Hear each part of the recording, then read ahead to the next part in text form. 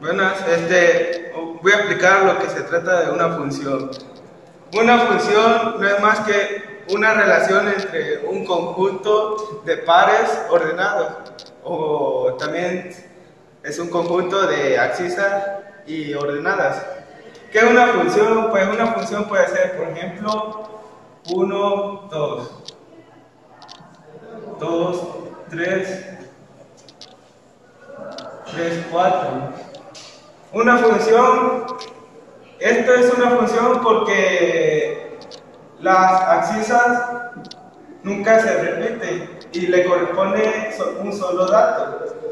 También podemos decir un ejemplo de una función, por decir, es por ejemplo, a un, el sueldo de un trabajador le corresponde solo un sueldo, no le puede corresponder este, dos sueldos porque ya sería una relación.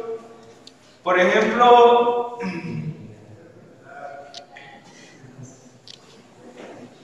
esta es una función ya que solo le corresponde un número, un, bueno, solo le corresponde un número de excisa para cada ordenada. Este, ¿cuál no es una función? Una función no es, este, cuando no es una función, es que decimos que es una relación, porque puede tocar, para cada axisa le corresponde dos ordenadas, y eso no es lógico pues, que sea una función. Por ejemplo, también este, tengamos en cuenta que una función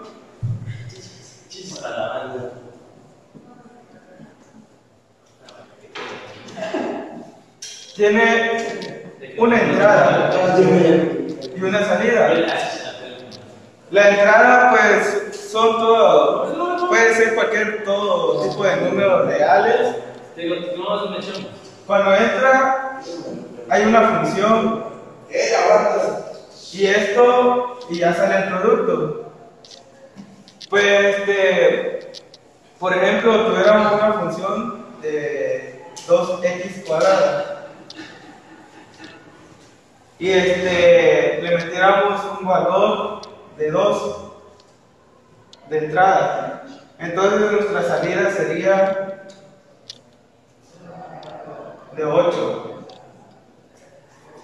No es lógico que, por ejemplo, este, pongamos que de entrada sea 1 y de salida de entrada sea 2 y de salida sea este, un 7. Porque ya acá hay una relación, porque a este le corresponde dos valores. Y entonces acá decimos que ya no es una función.